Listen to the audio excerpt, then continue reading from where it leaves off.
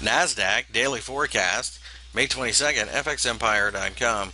The NASDAQ, as you can see, gapped a little bit uh, higher at the open on Wednesday and then uh, shot higher.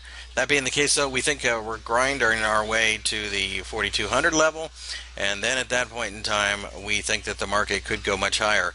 Pullbacks between here and there will be buying opportunities as we do try to build up momentum to continue going higher.